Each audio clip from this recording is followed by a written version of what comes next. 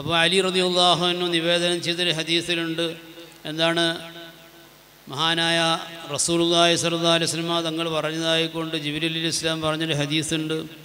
മാനസൽത്തു അല വജിഹിൽ അർദി ബി കലിമത്തിന് അഫ്ദല മിൻ കലിമത്തി ലാ ഇലാഹ ഇല്ലല്ലാഹ് റസൂലുല്ലാ ലാ ഇലാഹ ഇല്ലല്ലാഹ് റസൂലുല്ലാ എന്ന ഈ സത്യവചനത്തേക്കാൾ ശ്രേഷ്ഠമായ ഒരു വചനം കൊണ്ടും ഒരു വാക്യം കൊണ്ടും ഞാൻ ഇറങ്ങിയിട്ടില്ല. എന്ന് പറഞ്ഞു എന്നിട്ട് ആ കെലിമയെ പറ്റി വർണിക്കുകയാണ്. അതാണ് കെലിമത്തുൽ ഇഖ്ലാസ്. ഇഖ്ലാസിന്റെ കെലിമ എന്ന് പറഞ്ഞത് അതാണ്. ഇഖ്ലാസ് ഉണ്ടാവേണ്ടത് ആ കെലിമയിൽ നിന്നാണ്. ആ കെലിമയാണ് ഇഖ്ലാസിന്റെ സ്രോതസ് ആ കെലിമയില്ലെങ്കിൽ ഇഖ്ലാ ഇഖ്ലാസ് ഉണ്ടാവാൻ പാടാണ്. അതാണ് തക്കുവയുടെ കലിമ. കെലിമത്തു തക്കുവ പരിശുദ്ധ ഖുർആൻ പരിചയപ്പെടുത്തിയല്ലോ കെലിമത്തു തക്കുവ ഈ കലിമത്തു തക്കുവ തക്കുവയുണ്ടാവാനുള്ള കലിമയും ലാ ഇലാഹ ഇല്ലല്ലാ മുഹമ്മദ് റസൂലുള്ള എന്നുള്ളതാണ്. അതിൽ നിന്നാണ് തക്കവ ഉണ്ടാവേണ്ടത്. അതില്ലാതിരുന്നാൽ തക്കവ ഉണ്ടാവില്ല ഇത് കലിമത്തിൽ കുറുബാണ് കുറുബ് അള്ളാഹുവിന്റെ സാമീപ്യം കിട്ടാനുള്ള കലിമയാണ്. ഈ കലിമ കൊണ്ടാണ് സാമീപ്യം കിട്ടുക. ഇത് കെലിമത്തു നജാത്താണ്. മോചനവചനം. വിമോചനത്തിന്റെ വചനമാണ്. ഈ ഭൗതിക ലോകത്തു നിന്ന് രക്ഷപ്പെട്ട് ആഹ്റം വിജയിക്കാനുള്ള മോക്ഷത്തിന്റെ കലിമ. മോക്ഷത്തിന്റെ വചനമാണ് ലാ ഇലാഹ ഇല്ലല്ലാ മുഹമ്മദ് റസൂല എന്നുള്ളത്. അപ്പോൾ പരിശുദ്ധമായ കലിമ തൗഹീദ് ലാ ഇലാഹ ഇല്ലല്ലാ മുഹമ്മദ് റസൂല എന്നതാണ് പരിശുദ്ധ ദീനിന്റെ അടിസ്ഥാനമെന്ന് അതിന്റെ അടിത്തറ എന്ന് നാം ഒക്കെ മനസ്സിലാക്കിയ ആളുകളാണ്.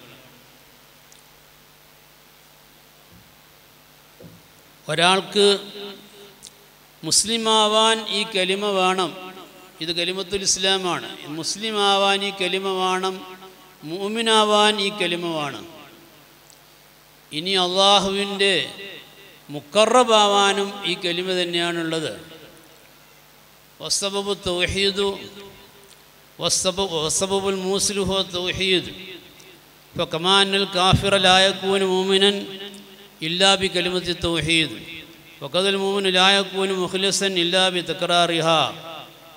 മഹാനായ ഇസ്മായിൽ അഫന്തി റഹ്മുല്ലാ തന്റെ റുഹുൽ ബയാനിൽ പറയുന്നു വസ്തബുൽ മൂസ്ലുഹു തൗഹീദ്. അള്ളാഹുവിന്റെ സാമീപ്യം കരസ്ഥമാക്കി തരുന്ന വചനം അതിനുള്ള കാരണം മാർഗം അത് തൗഹീദാണ്.